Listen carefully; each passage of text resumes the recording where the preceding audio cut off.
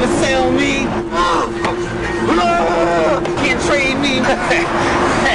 Can't buy me, sell me, trade me. Streetlight Records is having your baby.